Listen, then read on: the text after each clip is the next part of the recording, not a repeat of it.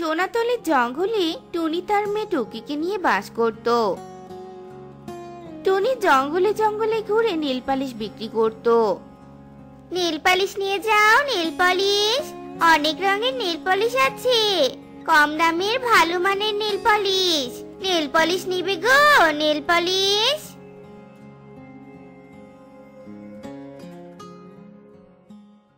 কই গো, দেখি দেখি। কত কালারের নেল পলিশ আছে তোমার কাছে? আমাকে একটা লাল রঙের নেল পলিশ দাও তো গো দিদি। আর তোমার এসব নেল পলিশের দাম কত গো দিদি? এই নাও দিদি, লাল রঙের নেল পলিশ। এর দাম মাত্র পঞ্চাশ টাকা। ও মা, এত কম? তাহলে আমাকে আরও তিন রঙের দাও তো গো। এরপর টুনি মিষ্টি থেকে আরও তিনটে নীল পলিশ দেয়। বাকি পাখিরা টুনি থেকে বেশ কিছু নীল পলিশ কিনে নেয়। আজ তো বেশ কিছু নেল পলিশ বিক্রি করেছি। এবার বাকি নেল পলিশগুলো বাড়িতে নিয়ে চলে যাই। কাল আবার বনের উত্তরে যাব। এবার যাই বাড়ি চলে যাই। আরে ওটা টুনি না? সেই দিন ওর কাছে নেল পলিশ বাকি চেয়েছিলাম। কিন্তু ও আমাকে বাকিতে নীল পলিশ দেয়নি।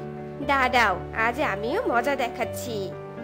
কাকলি প্রতিশোধ নিতে টুনিকে ইচ্ছে করেই ধাক্কা মারে। আর সাথে সাথেই টুনির সাথে থাকা নেল পলিশের ডালাটি মাটিতে পড়ে যায় আর বেশ কিছু নেল পলিশ ভেঙে যায়। হাই হাই কাকুলি দিদি, এ তুমি কি করলে? ধাক্কা মেরে সব নেল পলিশগুলো নষ্ট করে দিলে? ইস রে, আমার কত লোকসান হয়ে গেল। তুমি ইচ্ছে করেই এ কাজ করেছ। আমি রাজার কাছে তোমার নামে নালিশ দিব। ও সরি রে টুনি, আমি ইচ্ছে করে তোকে ধাক্কা দেইনি। প্লিজ, তুই কিছু মনে করিস না। আমি আসি রে টুনি, খুব দরকারি একটা কাজে যাচ্ছি। বাইরে টুনি, মন খারাপ করিস না। জানি না, কাকুলি দিদি নিজেকে কি ভাবে। আমার কতগুলো টাকা লস করে শুধু সরি বলে চলে গেল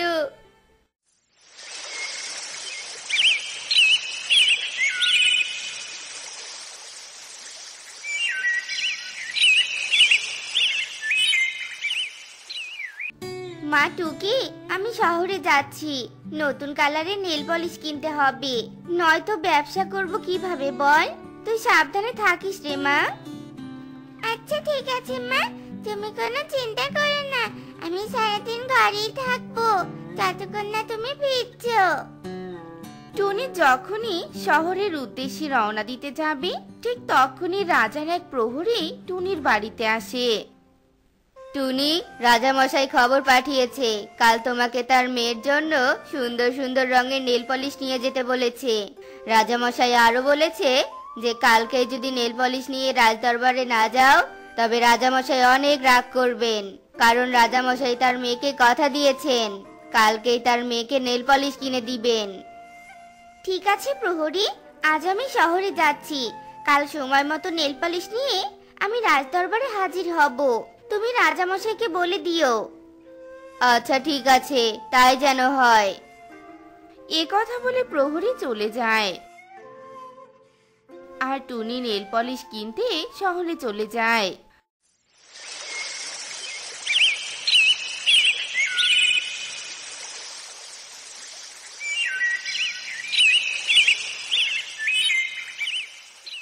পরের দিন টুনি সকাল সকাল ঘরের সব কাজ সেরে টুকিকে খাইয়ে দিয়ে নেল পলিশ ভর্তি ডালাটি নিয়ে রাজ দরবারের উদ্দেশ্যে বেরিয়ে পড়ে। রাজ দরবারে যেতে গেলে একটা ছোট্ট নদী পার হতে হয়। টুনি যখনই সেই নদীর উপর দিয়ে উড়ে যাচ্ছিল, কাকুলি তখন টুনিকে দেখে বলতে থাকে, আরে, এই টুনি তো দেখছি রাজদরবারের দিকে যাচ্ছে। তার মানে কি? টুনি সত্যি সত্যি রাজার কাছে। আমার নামে নালিশ দিতে যাচ্ছে? এই কালু, টুনি তো রাজদরবারের দিকে যাচ্ছে। সত্যি টুনি যদি আমার নামে রাজার কাছে নালিশ করে, তাহলে তো আমাকে শাস্তি পেতে হবে গো। আরে গিন্নি, তুমি যা ভাবছ তা নয়। টুনি তো রাজা মশাইয়ের মেয়ে জন্য নেল পলিশ নিয়ে যাচ্ছে। কাল প্রহরী এসে সংবাদ দিয়ে গেছে। তখনই আমি শুনেছি গো কে জানে, এমনও তো হতে পারে যে নেল পলিশ দেওয়ার পর যদি আমার নামে নালিশ করে, না, আমি টুনিকে তা কিছুতেই করতে দিব না। এবার আমি এমন কাজ করব যে ওই টুনিকেই রাজামশাই শাস্তি দিবেন। এ কথা বলে কাকুলি দ্রুত উড়ে গিয়ে টুনিকে জোরে ধাক্কা দেয়। আর সাথে সাথে টুনির সাথে থাকা নেল পলিশের ডালাটি নদীতে পড়ে যায়। একে কাকুলি দিদি, এ তুমি কি করলে? এবার আমি খালি হাতে রাজাবসের কাছে কোন মুখে যাব?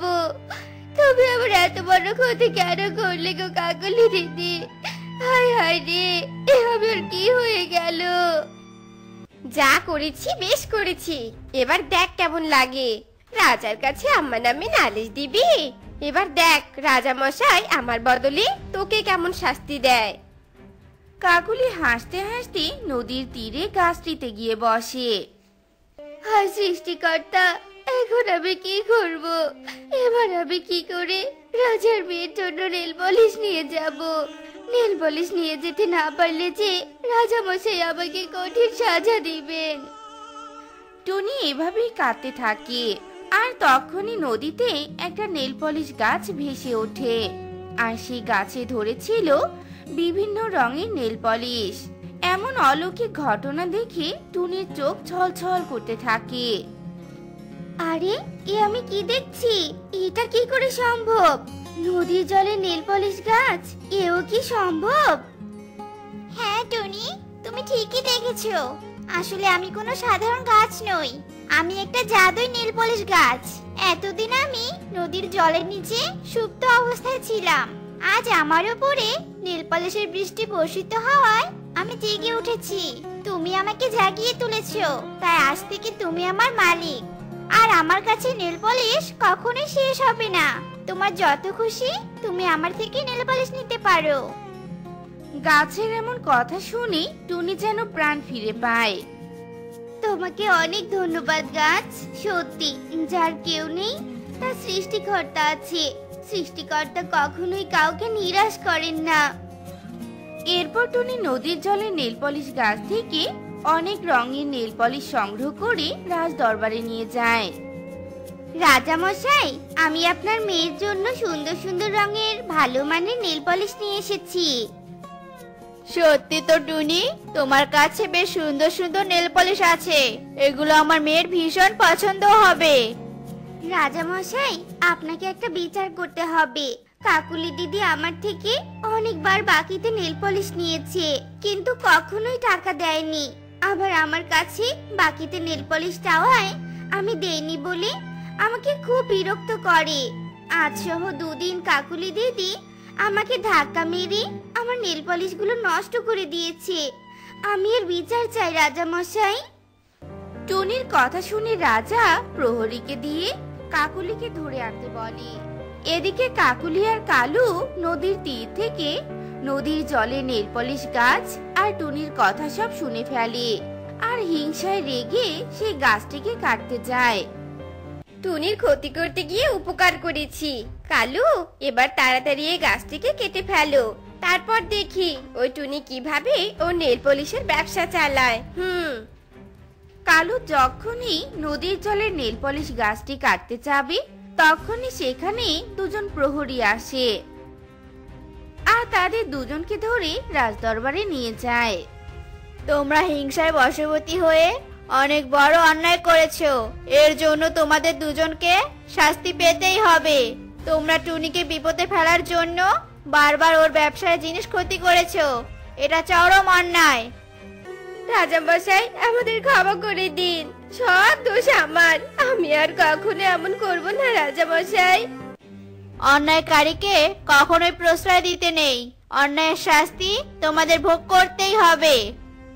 এরপর রাজামশাই কালু আর কাকুলিকে একশো ঘা বেতের আঘাত করার নির্দেশ দেয়। টুনি তার সাথে ঘটে যাওয়া অন্যায়ের সুষ্ঠু বিচার পেয়ে অনেক খুশি মনে বাড়িতে চলে যায়। ওরে বাবা রে কি ব্যথা রে ব্যথা। কাকুলি আমরা আর কখনোই এমন কাজ করব না। ওরে বাবা রে আমার হাড়গোড়গুলো ভেঙে যাচ্ছে। টুনি তার ছোট্ট মেয়েকে নিয়ে বাস করত। একদিন সকালে টুনি তার মেয়েকে বলতে থাকে টুকি মা আজ আমি বনের গভীরে খাবার খুঁজতে যাব। তাই আমার ফিরতে একটু দেরি হবে। তুই বাড়িতে সাবধানে থাকিস কেমন? মা আমি আজকে একা বাড়িতে থাকব না। আজ তোমার সাথে যাব। ও মা তুমি না করো না। নিয়ে যাও না তোমার সাথে আমাকে। টুকি মা? তুই উঠতে পারবি না। আমি যে অনেক দূরে যাব। তার উপরে আবার আকাশটা কালো। জেদ করিস না মা। না না না আমি যাবই। আমার একা একা ভালো লাগে না বাড়িতে মা। টুনি টুকির এমন পাগলামো দেখে নিয়ে যেতে রাজি হয়। আর ওরা দুই মামি মিলে উঠতে থাকে। কিছুক্ষণ পর ওরা বনের গভীরে প্রবেশ করে। ওরা একটা গাছের ডালে বসে, আর এদিকে ওদিকে তাকিয়ে বলতে থাকে, মা, ও মা, খাবার খোঁজা অনেক কষ্টের তাই না মা? সেই কখন থেকে খাবার খুঁজছি, কিন্তু এখনও তো কোনো খাবারই পেলাম না। খাবার পেয়ে যাব রে মা। তুই চিন্তা করিস না। চল আর একটু সামনে যাই। ওরা আবারও উঠতে থাকে। হঠাৎ আকাশ অনেক কালো করে আসে আর প্রচুর বৃষ্টি বাতাস বইতে শুরু করে। টুনি টুকিকে বলে এই বৃষ্টি তো থামার কোনো খোঁজই দেখছি না। এই বৃষ্টিতে খাবার খোঁজা সম্ভব নয়। বাইরে থাকলে যে কোনো সময় আমাদের বিপদ হতে পারে। চল মা তাড়াতাড়ি চল মা আমার অনেক ভয় লাগছে এই বাতাসতে এই বাতাসিতে আমি উঠতে পারছি না মা। ও মা। মারি ওরা চেষ্টা কর মা। যত তাড়াতাড়ি বাড়িতে পৌঁছাতে হবে তাড়াতাড়ি কর মা। টুকি আর টুনি অনেক কষ্টে বাতাসের মাঝে উঠতে থাকে। ওরা একবার সামনে যায় তো বাতাসের ধাক্কায় আবার পিছনে চলে আসে। কিছুক্ষণ পর টুকি বলতে থাকে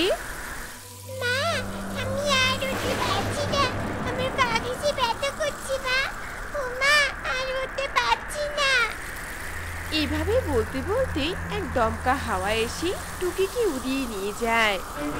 মা আমাকে বাঁচাও! মা আমাকে আটকাও মা!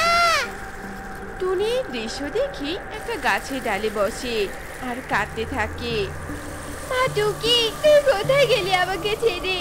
কেন জেদ করেছিলি এখানে আসতে? মা যদি তুই বাড়িতে থাকতি তাহলে কিছুতেই এমনটা হতো না। আমি এখন তোকে কোথায় খুঁজবো রে মা? টুনি বৃষ্টি বাতাসের মাঝেও এদিকে ওদিকে তাকাতে থাকে আর কাঁদতে থাকে। অন্যদিকে টুকি হাওয়ায় ভাসতে ভাসতে একটা বড় গাছের ডালে গিয়ে আটকে পড়ে। তুমি কোথায় গেলে? আমি এখানে চলে এসেছি মা। তুমি আমাকে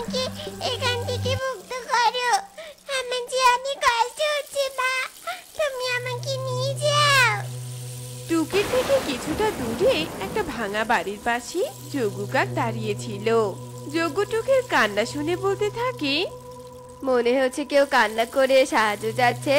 এই বৃষ্টি বাতাসের মাঝে কে হতে পারে? দেখি তো এগিয়ে গিয়ে।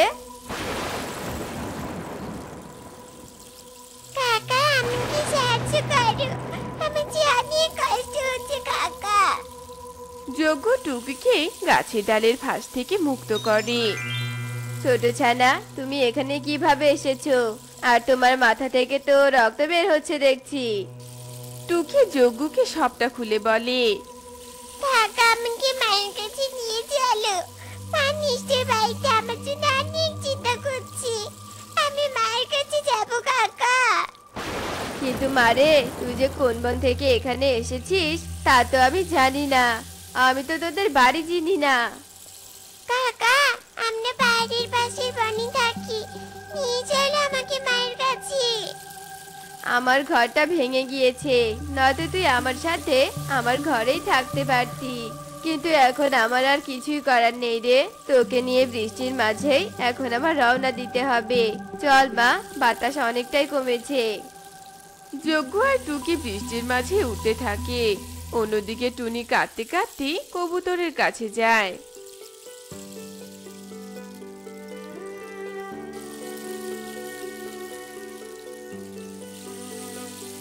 কি ব্যাপার টুনি? কাঁদছিস কেন? কি হয়েছে তোর? আর টুকি কোথায়? এরপর টুনি টুকির কথা খুলে বলে আমার ছোট মেয়েটাকে ছাড়া আমি বাঁচবো না কবুতর দাদা। এই বৃষ্টিতে ও কেমন আছে কোথায় আছে আমি কিচ্ছু জানি না কিচ্ছু না। বাতাস তো পশ্চিম দিক থেকে পূর্ব দিকে বইছে।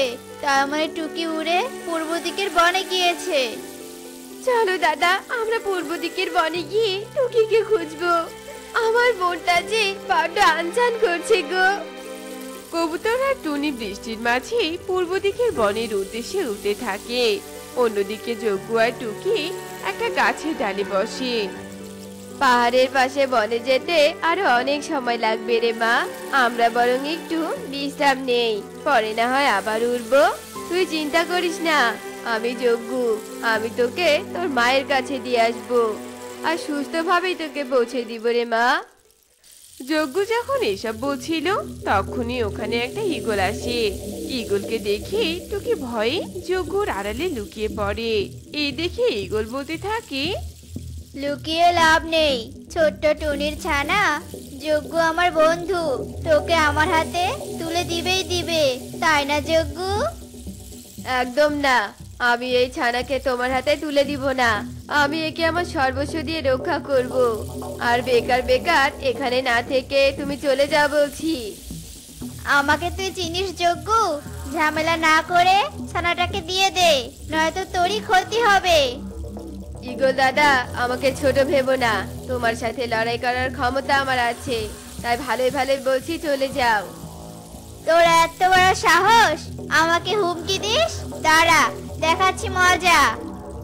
ইগল আর মাঝে লড়াই লেগে যায়। লড়াইয়ের এক পর্যায়ে টুকি লাঠি দিয়ে ইগলের মাথায় জোরে আঘাত করে।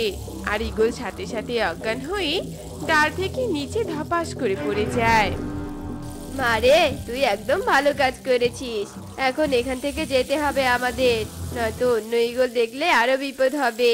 এটা যে ইগলদের আস্থা না টুকি আর যজ্ঞ বৃষ্টির মাঝে আবারও উঠতে থাকে। অন্যদিকে টুনি কবুতর ভিজতে ভিজতে উঠতে থাকে আর বলতে থাকে দাদা ওই যে ওই যে সামনে একটা বাড়ি দেখা যাচ্ছে। চলো না ওই বাড়ির পাখিকে গিয়ে জিজ্ঞেস করি আমার মেয়েকে ওরা দেখেছে কিনা? টুনি কবুতর একটু সামনে গিয়ে ডাকতে থাকে। ওদের ডাক শুনে ঘর থেকে টিয়ে বের হয়। টুনি টিয়েকে টুকির কথা খুলে বলে। সব শুনে টিয়ে বলে না না টুনি বোন আমি তোর মেয়েকে দেখিনি। তুই বরং আরও সামনে গিয়ে সন্ধান কর। টুনি কবুতর আবারও উঠতে থাকে। অন্যদিকে যজ্ঞ আর টুকি উঠতে উঠতে ওদের সামনে একটা কুমড়ো বাড়ি দেখতে পায়। ওই কুমড়ো বাড়িটা ফাঁকা পড়েছিল। ওরা দুজন কুমড়ো বাড়িতে প্রবেশ করে। মা টুকি বাইরে তো প্রচুর বৃষ্টি তার উপর আবার সন্ধ্যা হয়ে আসছে। এখনও অনেকটা পথ বাকি আছে। আমরা বরং আজকের রাতটা এখানে কাটিয়ে দেই রে মা। কাল সকাল সকাল তোর মায়ের উদ্দেশ্যে আবারও না হয় রওনা দিব। কেমন? তুই মন খারাপ করিস না সোনা। কিন্তু কাকা আমার মাঝে ভীষণ চিন্তা করছে আমার জন্য। টুকে কিছুক্ষণ ভেবে আবারও বলতে থাকে? আমি একবার চিট করে বিপদে পড়েছি। আর বিপদে পড়তে চাই না কাকা। তুমি আমাকে যা বলবে আমি তাই করব। আমার লক্ষ্মী মেয়ে চল জানালা দিয়ে বাইরে বৃষ্টি দেখি। যজ্ঞ আর টুকি জানালা দিয়ে বাহিরে বৃষ্টি দেখতে থাকে। ওই কুমড়ো ঘরটা পরিত্যক্ত থাকায় ওই ঘরে একটা সাপ বাস করত।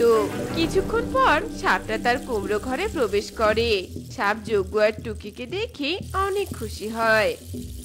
আরে আরে এ আমি কি দেখছি? তুই দুটো পাখি আমার ঘরে? আজ তো পার্টি হবে। ইয়ে কি মজা। আমি সবার আগে ওই কালো কাককে খাব। সাপ মনে মনে এসব বলে যজ্ঞর দিকে এগোতে থাকে।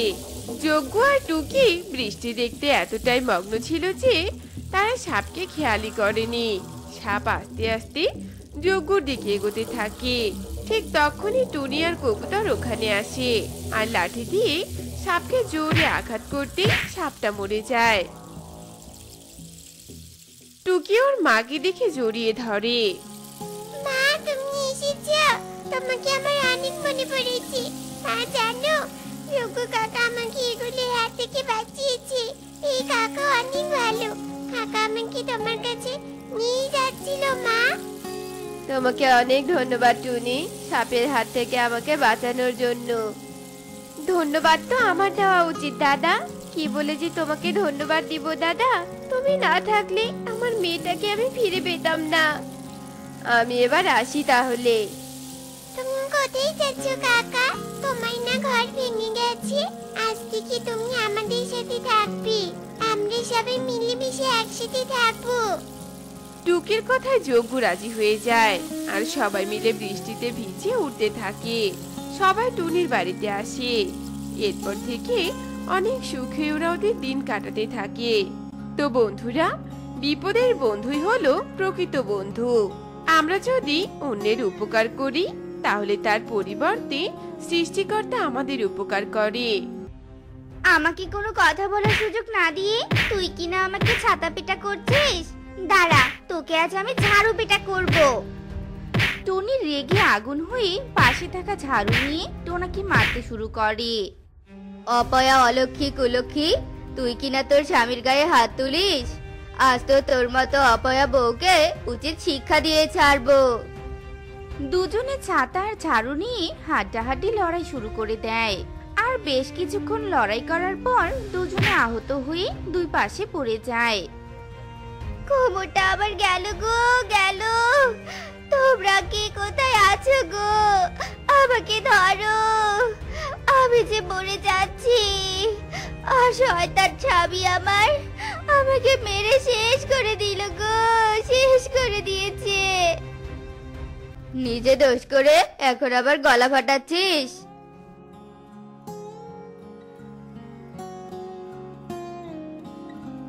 এই ভর দুপুর বেলা তোদের কি হয়েছে রে? এমন আহত হয়ে দুজনে দুপাশে পড়ে আছিস কেন?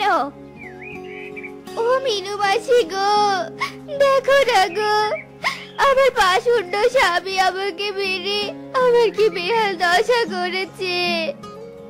মিনু মাসি ওর দিকে না দেখে আমাকে দেখো। বউ হয়ে ঝাড়ু দিয়ে স্বামীকে কি পরিমাণে অপমানটাই না করেছে? তুমি এর বিচার করো মিনু মাসি টুনি যেখানে আমাদের স্বামীর নাম মুখে আনাও পাপ, সেখানে কিনা তুই স্বামীর গায়ে হাত তুলেছিস? তুই অনেক বড় পাপ করেছিস। এক্ষুনি তোর স্বামীর পা ধরে ক্ষমা চেয়ে নে। আমি তো আমার স্বামীর গায়ে হাত তুলতে চাইনি। ও আমার কোনো কথা না শুনে অন্যায়ভাবে আমাকে কেন মারলো? টোনা তুইও তোর বউয়ের কাছে মাপ চা। আর দুজনে নিজেদের মাঝে সব ঠিকঠাক করে কোথাও থেকে গিয়ে ঘুরে আয়। মিনুর কথা শুনে টোনা আর টুনি একে অপরের কাছে ক্ষমা চেয়ে নেয়। তুমি আমার সব কথা মেনে চলবে। আর আমি তোমাকে খুব ভালোবাসবো। আমাকে সত্যি অনেক ভালোবাসলে আমি তোমার সব কথা শুনব। যাক তোদের মিল দেখে আমার অনেক ভালো লাগল। এবার তোরা নিজেদের মতো সময় কাটা। আমি বরং আসি রে। মিনু চলে যায় আর দেখতে দেখতে রাত হয়ে আসে।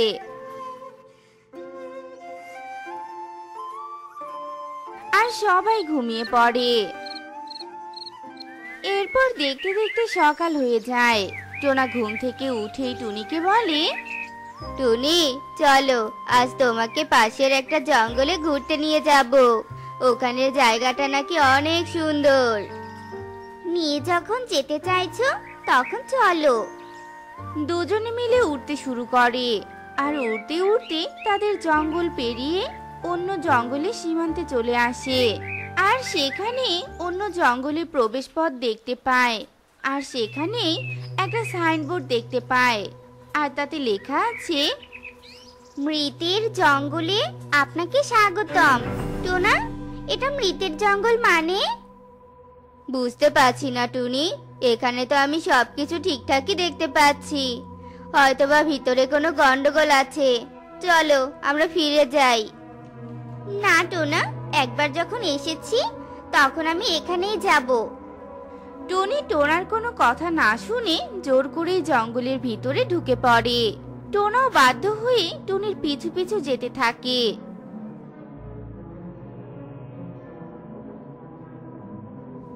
দেখেছ টোনা চারদিকটা কত সুন্দর। শুধু শুধু কেউ মজা করে এটার নাম রেখেছে মৃতের জঙ্গল। না টনি আমার মনে হচ্ছে এখানে নিশ্চয়ই কোনো গন্ডগোল আছে। আহা টোনা তুমি তো দেখছি বাচ্চাদের মতো ভয় পাচ্ছো। ভয় না পেয়ে আমার সাথে চলো তো। সামনে অনেক ফুল দেখা যাচ্ছে।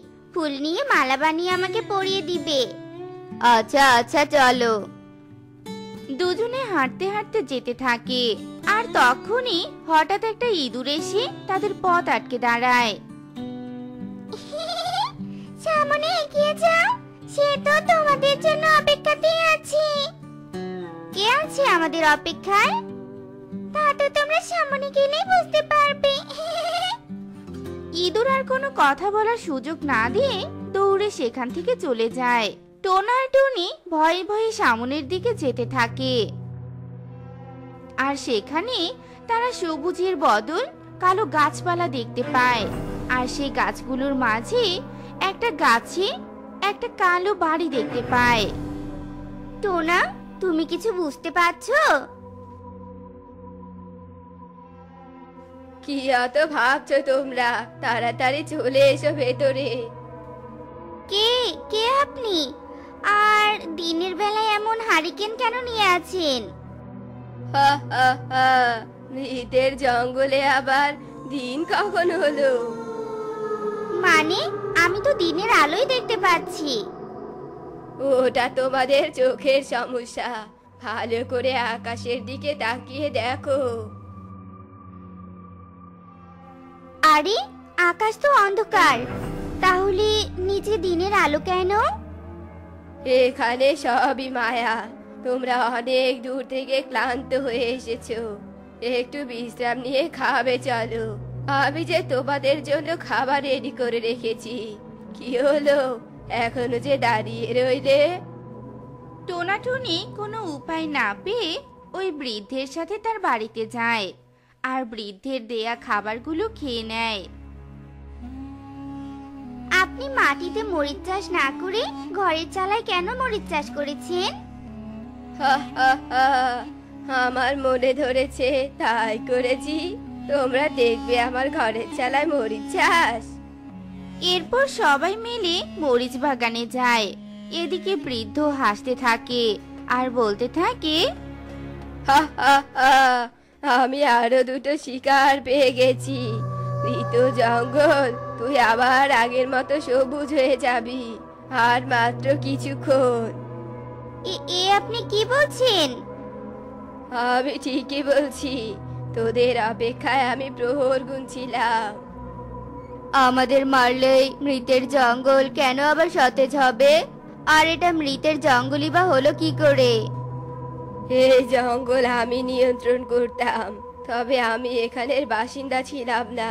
বাইরে থেকে আসতাম আমি, আর আমি মরিচ চাষ করতে ভীষণ ভালোবাসতাম, কিন্তু সবাই আমাকে ঘৃণা করত। তাই সবাই আমার মরিচ চাষ বন্ধ করে দেয়। আমি কিছু জাদুবিদ্যা জানতাম আর তা কাজে লাগিয়ে ঘরের চালায় মরিচ চাষ শুরু করে দিলাম। কিন্তু কেউই তা পছন্দ করল না আমাকে ওরা পুড়িয়ে মারে। পুড়িয়ে মারে মানে? তাহলে আপনি এখনও জীবিত কি করে? আমি কোনো জীবিত পাখি নই আমি মৃত পাখি। হা, হা, হা। তুমি আমাদের যেতে দাও। তোদের যেতে দিলে যে আমার মৃত জঙ্গল জেগে উঠবে না। আমি আত্মা হয়ে ফিরে আসার পর জঙ্গলের সবকিছু আমার ইশারায় চলতে থাকে। আর তার কারণে একের পর এক পাখি মারা যেতে থাকে। আর যে যে পাখি বেঁচে ছিল তারা পালিয়ে যায়। এখন তুমি আমাদের যেতে দাও আমরা চলে যেতে চাই। জঙ্গলে ঢুকতেই মৃতের জঙ্গলের নাম শুনে তোদের জঙ্গলে ঢোকা উচিত হয়নি। হা হা হা। বৃদ্ধ হাসতে হাসতে তার হাতে থাকা হারিকেনের আগুন টোনা আর টুনির দিকে ছুঁড়ে মারে আর দুজনেই আগুনে পুড়ে ছাই হয়ে যায়। তো বন্ধুরা, অচেনা কোনো জায়গায় গিয়ে সবসময় নিজের মনের চাওয়াকে প্রাধান্য না দিয়ে চোখ কান খোলা রেখে পা ফেলা উচিত। কে জানে কোন পদক্ষেপে কোন বিপদ অপেক্ষা করছে? বন্ধু এসেছ। বলছি আমার একটু জল দাও না গো। আমার যে বড্ড জল তেষ্টা পেয়েছে। দিচ্ছি বাপু, দিচ্ছি। তোমার গোড়ায় জলটা দিয়ে কি কখনো এখান থেকে চলে গেছি, বলো? জানো, সকাল থেকে কত জনের কাছে জল চাইলাম। কেউ আমায় এক ফোঁটা জলও দিল না। বয়স বেড়েছে কি না আজকাল তো আর কলা দিতে পারি না তাই কেউ আমার দিকে ফিরেও তাকায় না। দুঃখ পেও না বন্ধু আমি তো আছি। তোমার পরিচর্যা করা জল দেওয়ার জন্য। বলছি তুমি থাকো গো এবার আমার জল নিয়ে যেতে হবে। বেলা হয়েছে যে।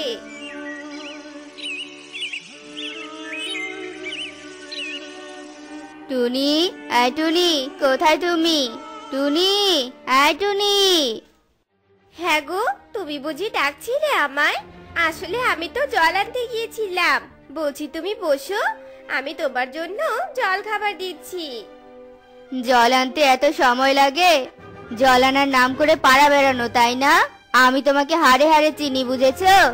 যাও তাড়াতাড়ি জল খাবার দাও।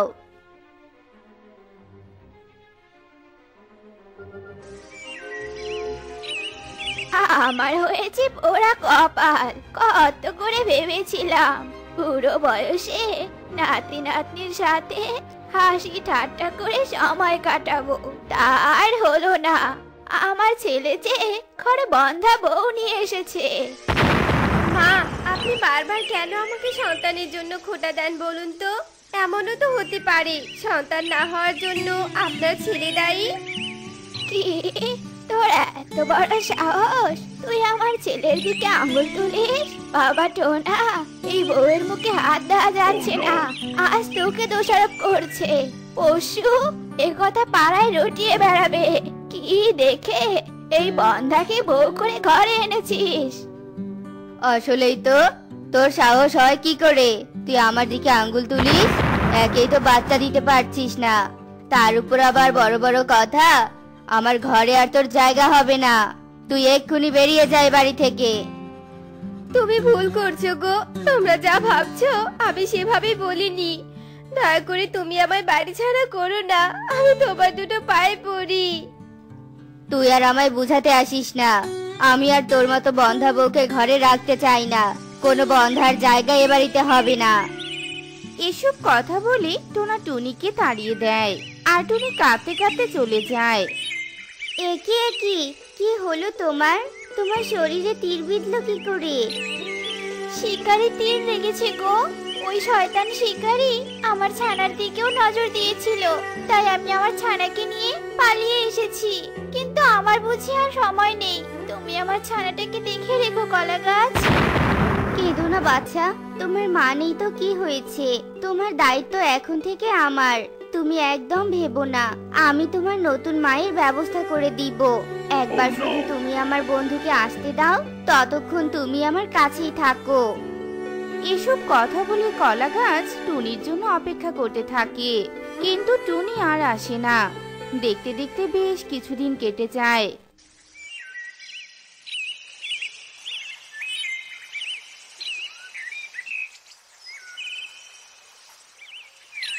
টোনা তাড়িয়ে দেওয়ার পর সেই যে বাপের বাড়িতে চলে এলাম, আর তো বন্ধুর সাথে দেখা হলো না। আজ বরং একবার গিয়ে আমার বন্ধুর সাথে দেখা করে আসি। না জানি আমার বন্ধু কি অবস্থায় আছে।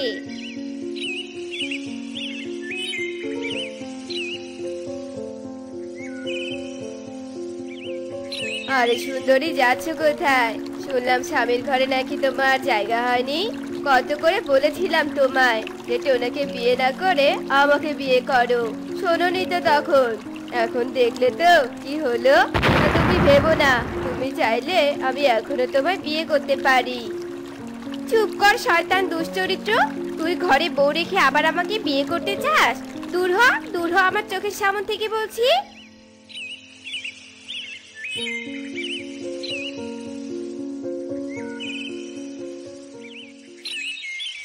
আরে বন্ধু তুমি এসেছ? আমি তো তোমার জন্যই এতদিন অপেক্ষা করছিলাম। তুমি কোথায় ছিলে বন্ধু এতদিন? সে কথা আর বলো না বন্ধু।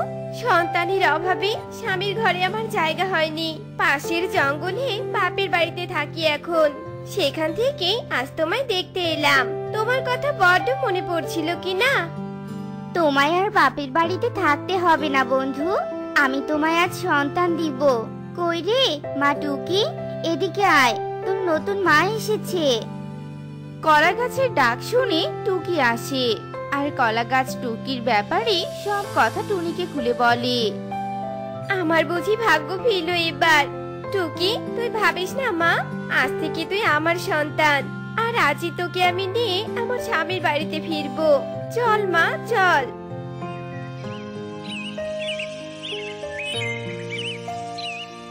ও এই ব্যাপার তবে তবে টুনি তোর এই সুখ আর বেশি দিন টিকবে না। একবার শুধু আমি টোনার দেখা পাই। এ কি টুনি তুমি? তুমি আবার এ বাড়িতে কেন ফিরেছো? হ্যাঁ ফিরেছি তবে সন্তান সাথে নিয়ে। এই টুকি হলো আমার সন্তান। যে সন্তানের জন্য আমার ঘর ছাড়া করেছিলে। দেখো আজ সেই সন্তান নিয়ে আমি ফিরেছি। সত্যি বলছো তুমি? তবে বাইরে কেন? আমার সন্তানকে নিয়ে ঘরে এসো। বাবা হওয়ার সাহায্যে আমার আজ পূরণ হয়েছে। এই কথা বলে টোনা, টুনি আর টুকিকে ঘরে নিয়ে যায়। পুনরায় টুনি সুখে সংসার করতে থাকে।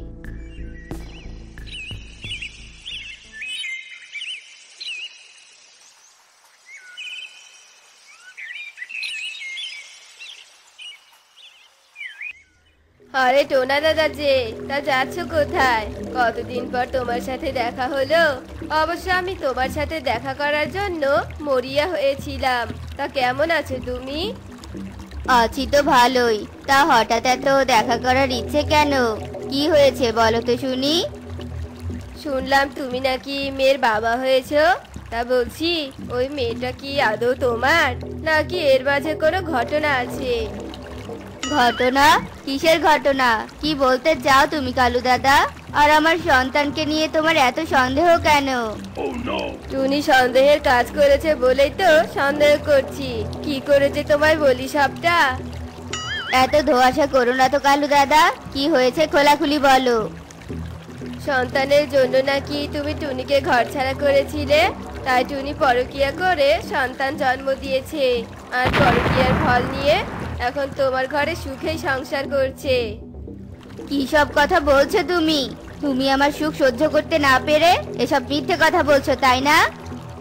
দেখো কাণ্ড, মিথ্যে বলতে যাব কেন?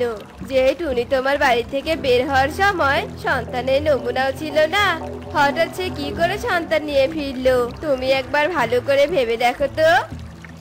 এসব কথা বলে কালু কাক চলে যায়।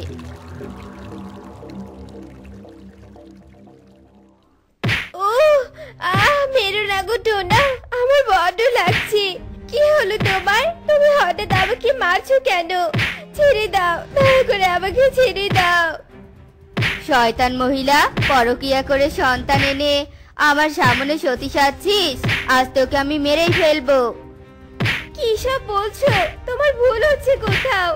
ওই সন্তান পরকীয়ার ফল নয়, ওটা কলা গাছের দেয়া সন্তান। তুমি একটিবার আমার কথা শোনো। কি?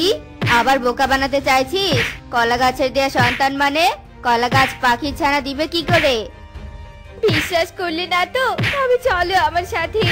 আমি তোমায় সবটা পরিষ্কার করে দিচ্ছি।